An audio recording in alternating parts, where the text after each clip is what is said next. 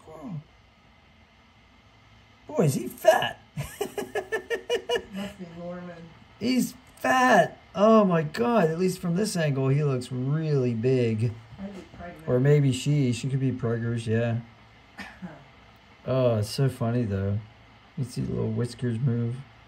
Little whiskers. You gonna jump into the tree for me? That's what I want to see. I want to see you jump in the tree.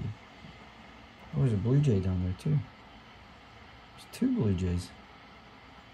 This one's like, I'll take this peanut and this peanut and this peanut. Squirrel's going back down for some more. Going down the pillar again.